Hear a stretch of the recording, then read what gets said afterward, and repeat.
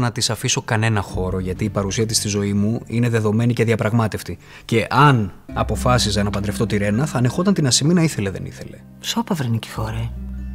Ώρα να μας πεις τώρα ότι δεν έχει ξεπεράσει κιόλας. Ε, ναι, λοιπόν, μάνα, θα σου το πω.